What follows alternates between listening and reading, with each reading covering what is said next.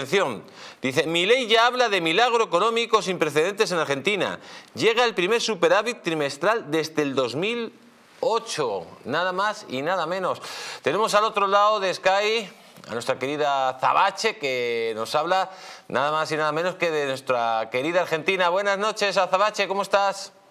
Buenas noches, guerreros de luz, amantes de la libertad. Un abrazo enorme de corazón a corazón. Un fuerte abrazo a Zabache. Eh, ya llegan las primeras buenas noticias. Un superávit eh, trimestral desde el 2008 y lo ha conseguido Milei en cinco meses, nada más y nada menos, cuando le han dejado un país muerto, en estado directamente de función. Exactamente, es un logro impresionante. Desde el 2008 no se producía este tipo de superávit fiscal. De hecho, para el gobierno todavía sigue siendo muy alta la inflación.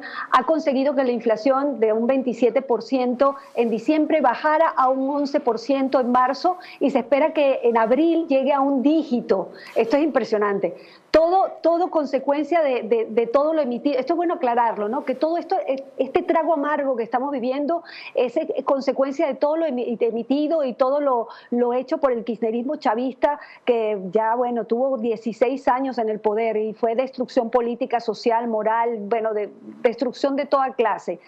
Es muy importante también decir que el, eh, gobierno, el, el, país que recibió mi ley, estaba vía directa a una hiperinflación y él lo está logrando evitar, es un día a día y la verdad es que el trabajo es enorme.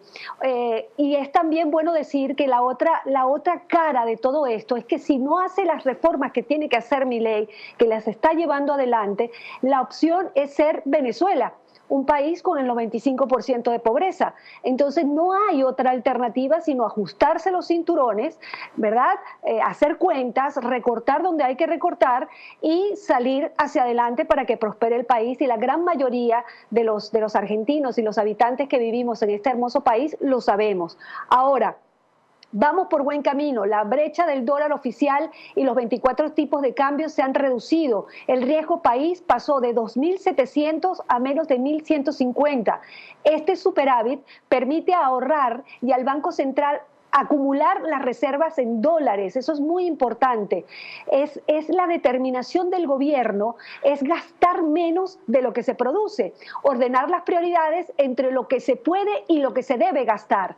Ahora, también te tengo que decir e informarles a todos que contra cara de todo esto, ayer hubo una marcha de estudiantes en, en toda Argentina, que muy, muy eh, este, llena de, de estudiantes de todas las universidades, porque lamentablemente el kirchnerismo chavista vuelve a ser de las suyas y ha engañado a un montón de, gente de las universidades haciéndoles creer que mi ley quiere cerrar eh, este, todo lo que es educación.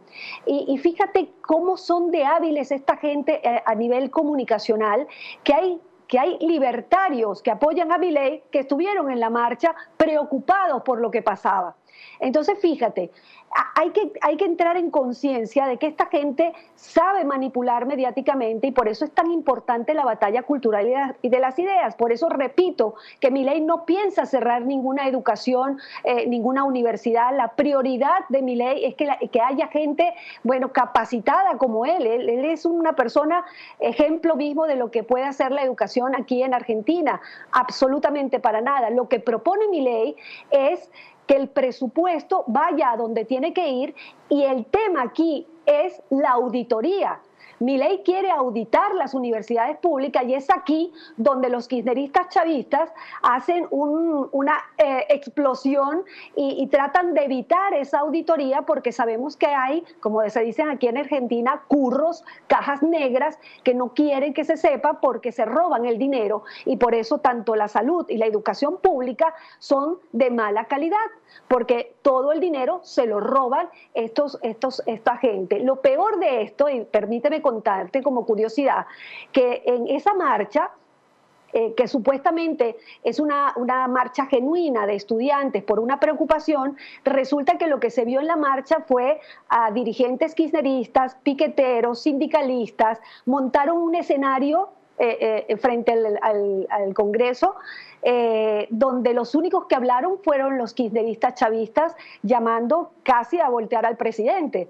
Entonces, claramente es una marcha política impulsada por el kirchnerismo chavista para debilitar eh, al presidente. Por supuesto que el presidente toma esto como un principio de revelación eh, y, sabemos que el principio de revelación son los hechos que se producen, que nos hacen ver quiénes están del lado de la libertad y quiénes no, y cómo manipulan una, una manifestación genuina de preocupación de estudiantes para convertirla en un hecho político a favor del kirchnerismo chavista. Mm. Azabache, te voy a hacer una última pregunta muy breve. Eh, tú estás en Argentina. Eh, sí. ¿Se está notando una ligera mejora? Eh, los precios, digamos en el día a día la gente nota, aunque sea mínima la mejora. Sabemos que en datos macroeconómicos la mejora es brutal, o sea, de la noche a la mañana. Pero eso ya empieza, está teniendo reflejo en la gente de allí de Argentina.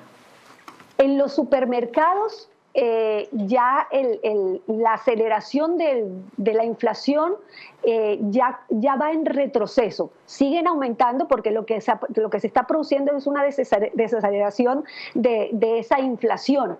Eh, lamentablemente todavía en el bolsillo de los ciudadanos, y hablo de la clase media, todavía no se siente, pero todo indica a nivel macro que vamos por buen camino. De hecho, el, presidente habló en una cadena si los precios, ¿Ah? ya no, si los precios ya no suben a la velocidad que subían antes, ya lo está notando. Exactamente. O sea, eso ya es un beneficio directo es un beneficio directo y, eh, bueno, dicho por el presidente en varias cadenas nacionales, él quiere, eh, en, el momento que esto comience a despegar, que, él habla de una B, bajar los impuestos. Sabes que la inflación es el mayor impuesto que puede recibir la gente que menos tiene. Entonces, eh, para él es una, un, mandamiento, como lo ha dicho él, bajar la inflación, llegar al déficit cero como lo está haciendo y, y cuadrar todas las cuentas para entonces empezar a prosperar. Y para él es muy importante y liberal libertario al fin, sabes que sentimos todos nosotros que, entendemos sus ideas, que los impuestos es como que si estuviesen asaltándote, eso es de la eso el que vende el kirchnerismo como la justicia social, es una injusticia social porque le roban a la gente que produce para este, dárselo a otras personas. Y los impuestos aquí en Argentina son muy grandes. Te hablo de 190 y pico de impuestos, una, una barbaridad y nada funciona, que es lo peor porque todos se lo roban.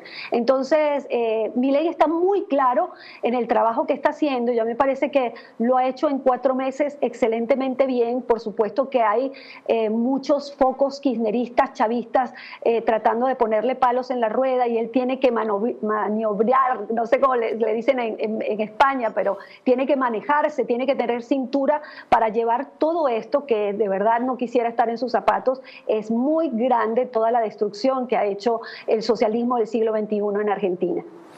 Pues eh, Azabache, como siempre, un placer tenerte aquí en América Directo y, cómo no, como todos los programas, eh, a ver si te puedes despedir con ese grito de guerra que nos hace tan feliz a todos los que seguimos América Directo. Claro que sí, los abrazo con el corazón. Recuerden seguirme en arroba online en todas mis redes sociales. La libertad es todo. Sin libertad no hay nada. ¡Viva la libertad, carajo! ¡Ole! pues viva la libertad, Azabache. Un fuerte abrazo. Cuídate mucho.